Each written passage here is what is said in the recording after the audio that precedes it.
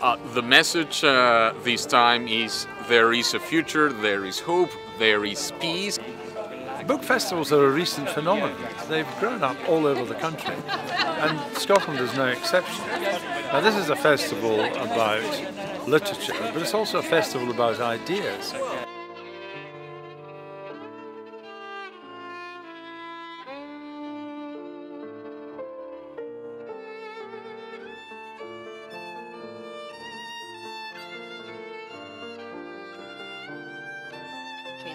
I think one of the most important thing um, in, in, our point of view is uh, coming to, to, to, the international media is the framing of, of, of the, the situation in Syria. The humanitarian situation in Syria is almost beyond comprehension.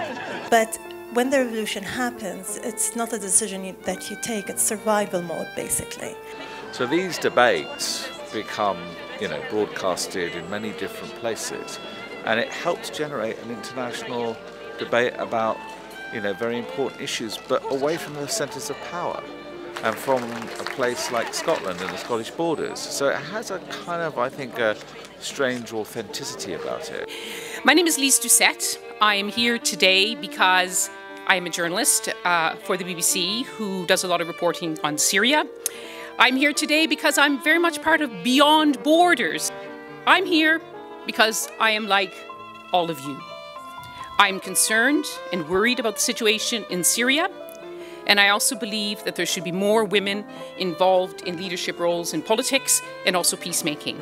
Um, I should say here, I, am always a little bit um, nervous about overgeneralising or stereotyping. You get good women leaders and bad women leaders. But I think if I can immediately contradict myself and generalise, uh, women, I, I, think, if we are generalising, I think do bring a, a different perspective. Uh, in my experience, women are more likely than men to put themselves in the shoes of the person sitting on the other side of the table. I really enjoy coming here every year because I learn about a wide range of areas that I have very little knowledge of.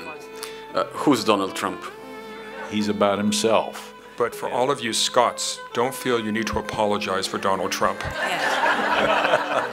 and he uh, believes that he's so charming and so irresistible that people will forgive him anything he says. I like, I know Hillary Clinton, but we know she has a lot of, um, she's carrying a lot of luggage. Um, the flotilla of boats that we've been creating over the, uh, the last day uh, symbolises the movement of the refugees from their set state through being manipulated and then running and escaping. Um, and in this place, they don't know where they're going.